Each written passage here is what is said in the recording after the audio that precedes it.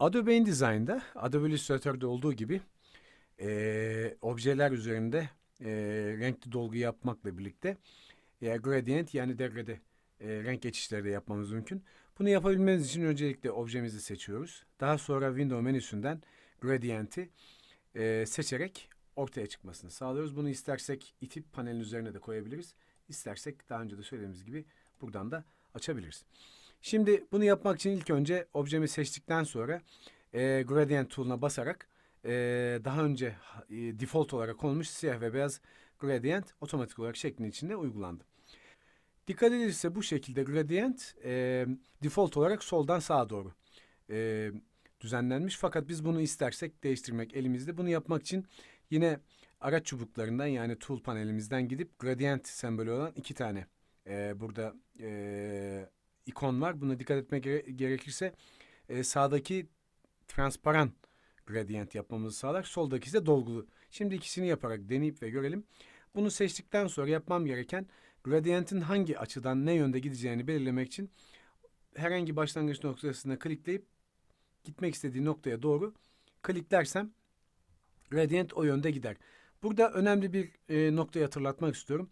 Gradientin e, yönünü gösteren çizginin uzunluğu ve kısalığı gradientin genişliği. Yani gradientin dağılma genişliğini belirler. Mesela şimdi kısa tutarsak e, gradient daha koyu, uzun tutarsak daha açık gider. Hatta alan dışına da çıkarsak gradient alan dışına çıkarak e, bizim verdiğimiz çizgiyi daha doğrusu açıyı takip eder. Biz normal uçtan uca bırakarak gradient'i böyle renklendirebiliriz. Şimdi gradient siyah beyaz ama biz swatch panelinden yine bu buraya renk ekleyip renk çıkarabilip veya farklı renkler deneyebiliriz. Mesela biz bu araya sarı bir renk eklemek istersek bunu getirip buraya koyabiliriz. Örneğin yeşil getirmek istersek bunu getirip buraya koyabiliriz. Bunları renk e, kutularını sağa sola hareket ettirerek gradientin e, birbiriyle karışmasını yani renklerin birbiriyle nasıl karıştığı, ne kadar mesafede karıştığını ayarlamak mümkün. Eğer istemediğiniz bir renk varsa yapmamız gereken tek şey rengi tutup aşağı çekmek ve o renki e, alanın dışına çıkarmak. Şimdi istediğiniz gibi rengi yine sağa ve sola çekerek gradienti ayarlayabiliriz. Gördüğü, görüldüğü gibi gradientin birleşme noktası tam merkez. Bunu istersek sola ya da sağa ala, alabilir. Gradientimizi istediğiniz gibi şekillendirebiliriz. Ayrıca e, başta dediğimiz gibi gradient düz olarak soldan sağa e, yani linear olarak gelmiş. Biz bunu istersek e, radyal olarak yani dairesel olarak yapabiliriz. Tek yapmamız gereken buradaki radyali e, seçmek.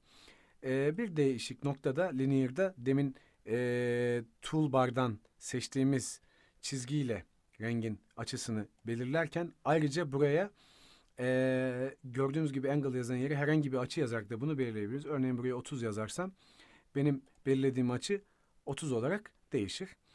E, location yani deminki e, ortada merkezde olan sağa sola çektiğim location çubuğunu da zaman dikkat ederseniz yukarıda rakamlar değişmekte.